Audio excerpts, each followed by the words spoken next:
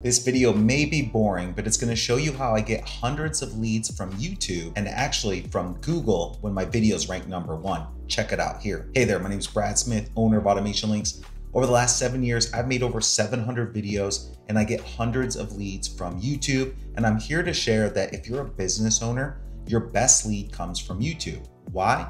Because if they learn something from you and you educate them and you show up as the answer to their problem, they're more likely to work with you, trust you, and have a relationship with you. And I'm gonna break it down on my screen today and show you this video, how you can take your transcription from your video, turn it into your YouTube description, your YouTube title, show up in the search rankings, get it in your blog, and get more traffic. And if you're new to my channel and you want the exact prompts we're gonna use today, comment system down below. Somebody from my team will send you this full AI prompt to copy for yourself. You ready? Let's dive in. All right, so you can see here, this is a video that I just published on Monday. Today's Wednesday. So just two days later, you can see Google is putting a YouTube video at the top of the Google search results. Why? Because it's answering a question somebody typed in to Google. Now, this will grow over time. I'm only showing up for this exact keyword right now, but over time, it'll be shorter. So if somebody just says retarget website visitors, then I'll have this YouTube video showing up over time as it gets ranked. Here's the AI prompt that I want to give you guys. And like I mentioned, if you grab this, you can just start copying and pasting this for yourself. So what you do is you go to the prompt and you just copy this, you come all the way down to the transcription.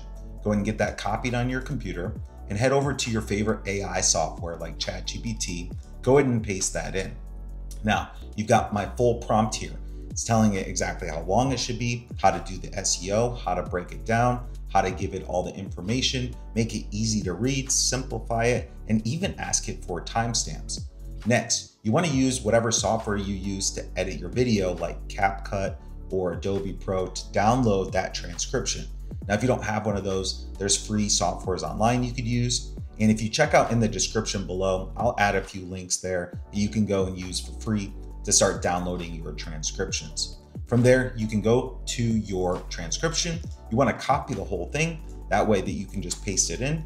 And then you're going to go back to the bottom where it says, here's my transcription. And you're going to go ahead and hit enter. Now, while that's doing that, I'm going to show you my YouTube video.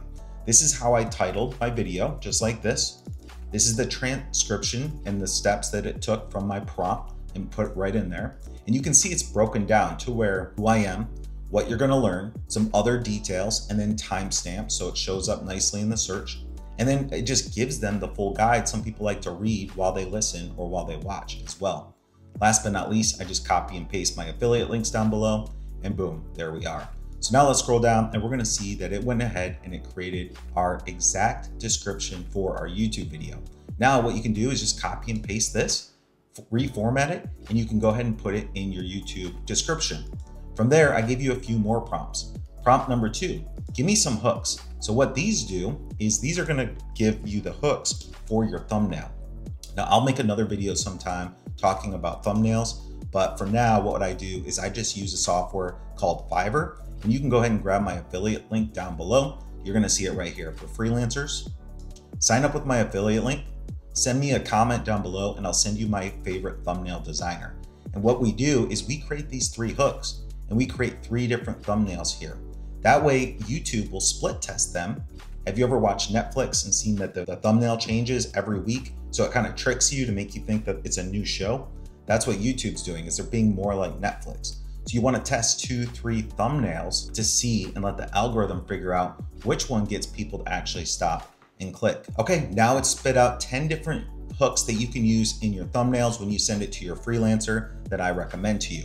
I, what I usually do is I go and choose my favorite three, and then sometimes I'll just word them a little bit different to make sure it matches my brand voice. But these give you 10 examples, then you can just choose your favorite three. Now go to your freelance site and reach out to the person that's gonna help you with your thumbnail. Go ahead and get those uploaded. You're gonna see that in the test area here. They'll give you three options. Choose the third one to split test the three. Next, what I like to do is create series. So what I have is I have three or four series. I have marketing automation series, X advertising, and YouTube. Those are my top three that I put out every single week. And what you want to do is keep this as a series. So after they watch this video, it recommends that they watch another video around the same topic. All right, from there, what I like to do is take everything that I've provided them and I want to ask them to give me a really good title. So that way it captures a business owner's attention when they're searching. So what you want to think about is who's my ideal audience? What are they searching for? Put that in your prompt so it knows who you want to target. And then what it's going to do is suggest the best title to show up when somebody search.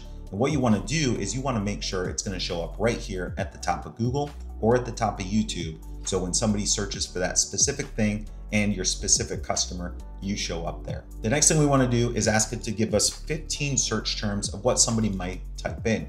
Now, YouTube says this is irrelevant, but I do like to use this for other uh, scenarios, like for my blog post, once we add it to the blog. And you can even come and take some of these keywords and put it in your description up above. But what I do is I go ahead and copy and paste those right in here.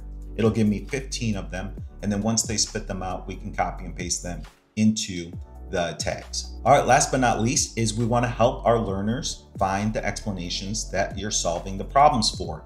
And my good friend Aaron actually told me about this. I didn't even know this, about this a month ago, but I'm seeing a big difference and it helped quite a bit. So what you wanna do is scroll down and choose your category. Before, I just kept this as people. So now what I'm doing is changing it to ed education. I'm giving it a how-to type. And what I'm doing is giving it those titles and those prompts to show where in the video I'm answering that specific question. So now, instead of just showing up for this search term, I'll start showing up for these search terms as well, and it'll skip to that part of the video to make it easy and a good user experience for the watcher. From there, I just say where I filmed it at, what the level is, and I don't know if that's too important or not. Last but not least is in my next video coming out on Monday, I'm creating a video to show you how to turn this YouTube video into your a blog post and add it to your website. So what you can see is I turn this entire video into a blog post added the YouTube video into my website, and then created a full blog based on the transcriptions that I use in the video. That way there's no AI generation, it comes from my voice, and it's all about the lessons that I provided.